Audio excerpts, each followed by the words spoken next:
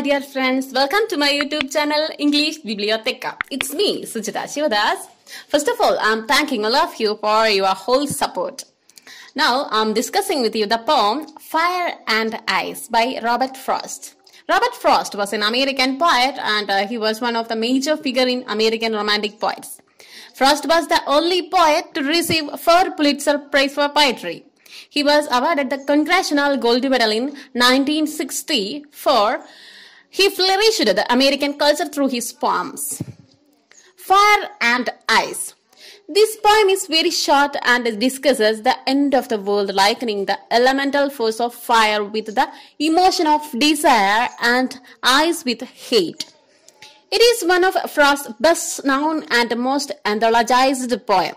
It gave an idea that how science can influence the creation of art or clarify its meaning. It is constructed with simple language and convey simple meaning. Before going to this poem, we should know how Frost got this inspiration.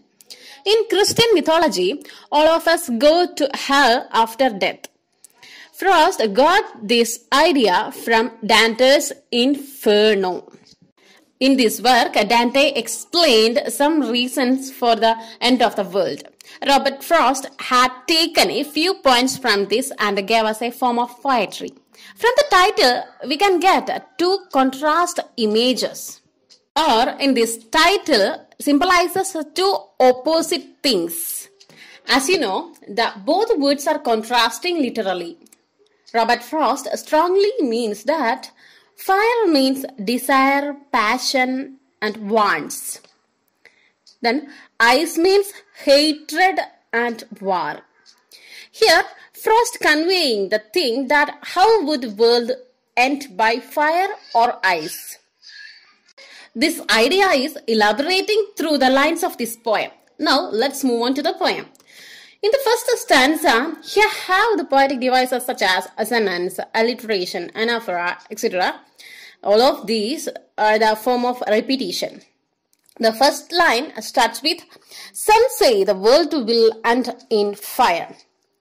Here, he is not sure who is saying that. Uh, he is saying some people uh, that may prophets, scientists, or random people. Either in desire or passion. Passion here means deep craving for something. We could take the example for passion, religious belief, sexuality, power craveness, etc. All these things the world might end. Some people say that the world might end in ice, seem like desire, deep hatred for something. They would do anything and everything to oppose or distract the thing which they hate. Frost strongly believed that desire might pave the way for the end of the world. He strongly believed that world will end either by fire or by ice.